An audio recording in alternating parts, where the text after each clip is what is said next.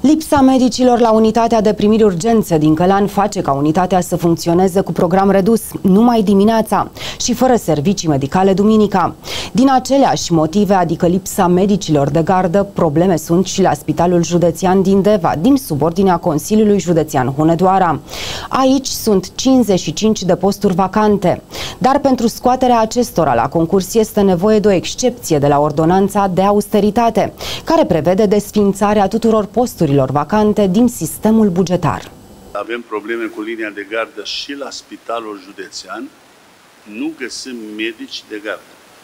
Am făcut uh, referendum în guvern să ni se aprobe să scoatem la examen toate posturile vacante la spitalul județean și nu numai.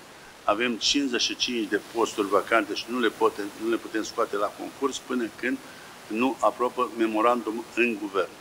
După, după aprobarea memorandului în guvern, sperăm să și găsim, asta e, asta e foarte important, să și găsim medici de gardă, dragi colegi. Nu găsim medici de gardă și nu este vorba numai la Spitalul Județean. Este vorba și la spitalele municipale, Hunedoara, Urăștie, Hațe, în toate părțile.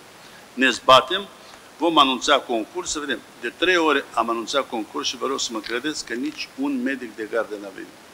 Președintele Consiliului Județean Hunedoara atrage atenția și asupra unui alt aspect, fiind nemulțumit de practica unor spitale din județ lipsite de fair play. Tocmai de aceea este nevoie de o strategie nouă, este de părere laurenționistor. Ne-am obișnuit și prost, asta o spun și asta și aviz să audă și spitalele alante. Uh, nu dau nume, dar s-au obișnuit spitalele din orașe și municipii orice lucru să îl trimite, hop, spre spitalul județean. Ei îl înregistrează, își iau niște bani ca la înregistrat la pe contractul cu casa și haide la spitalul județean. Și de multe ori, și aici nu fac să țin uh, să fiu de partea Upudeva, să zic, că știți bine că câteodată nu mi-s dragi, dar și când lucrează trebuie să-i apreciem pe medici, trebuie să-i apreciem.